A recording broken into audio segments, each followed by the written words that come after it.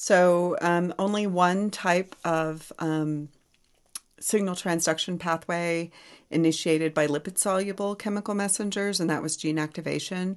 But there are four, I think, that um, you're going to learn that are activated by water soluble chemical messengers because there are a lot more water soluble chemical messengers. So, where these um, chemical messengers, whether they're paracrine agents, hormones, neurotransmitters, whatever, where they are going to find their receptor is on the cell membrane because they're water soluble and they can't get inside the cell. Um, the types that we're going to go through um, the first one you've already met a bunch of times. It is an ion channel receptor.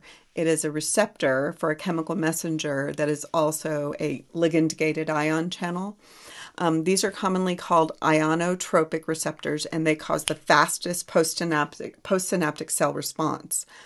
So, the effect of the chemical messenger binding is going to be that an ion channel opens or closes on the target cell, causes a graded membrane potential, could be depolarizing or hyperpolarizing.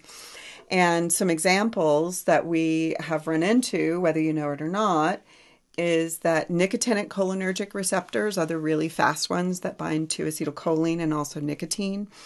They're almost always excitatory, and um, here's one right here. This is a nicotinic cholinergic receptor. These are super important in the central nervous system in learning, attention, and memory. These are also the ones that degenerate in Alzheimer's disease. Okay, the next category is um, a cell membrane receptor still, but instead of this one functioning as an ion channel, it functions as an enzyme. The extracellular portion portion is um, acts like a receptor, and the intracellular portion acts like an enzyme. So when something binds to it, it activates this enzyme, and then the enzyme does enzyme stuff inside the cell, activating a response that didn't exist before. And the biggest category of these are called tyrosine kinase receptors. And what they do is they kinase, phosphorylate the tyrosine amino acid of a protein and therefore change its activity. So they add a phosphate group. Um, the end result is a difference in cell activity. Um, examples of these are um, one of the major insulin receptors works this way.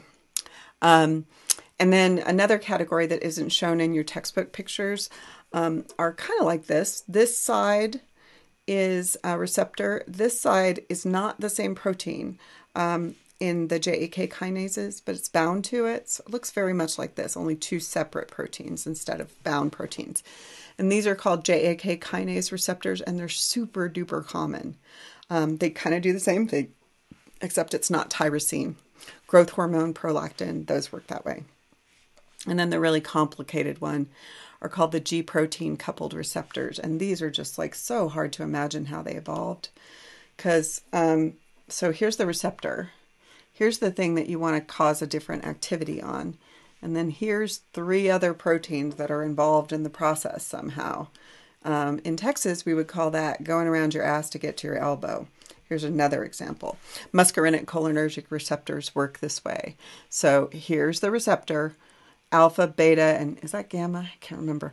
Um, are in the membrane. These slide through and smack into that ion channel or this thing right here to open it.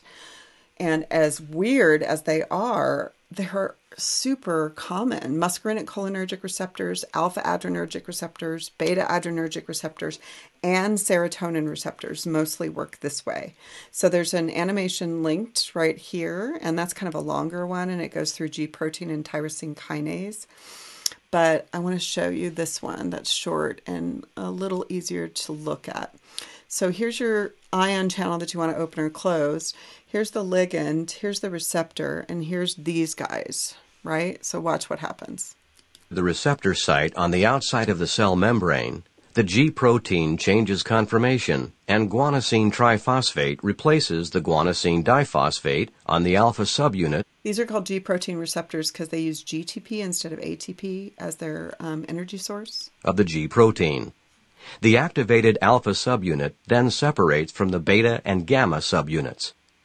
The alpha subunit, with guanosine triphosphate attached, binds to the calcium ion channel, causing the calcium ion channel to open.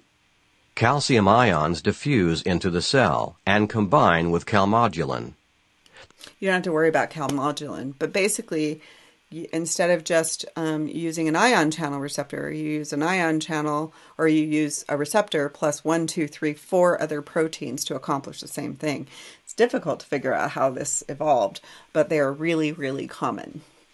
Okay, so different ways to cause the postsynaptic cell to do something. But what is the something? What does the cell do after all of this signal transduction? Well, it's different for different cells and different um, chemical messengers, but definitely the cell has a physiological change. So it could, uh, like here, activate transcription, causing synthesis of a protein that might be an enzyme. It could, like here, activate or deactivate an enzyme and therefore change activity. It could actually um, have an enzyme move in that causes um, secretion or cell division. It could hyperpolarize or depolarize the cell membrane and therefore excite or inhibit it. Could change the metabolic rate of the cell, but basically, um, you did something new to the cell, so the cell behaves differently. Okay, and that is the objective of signal transduction.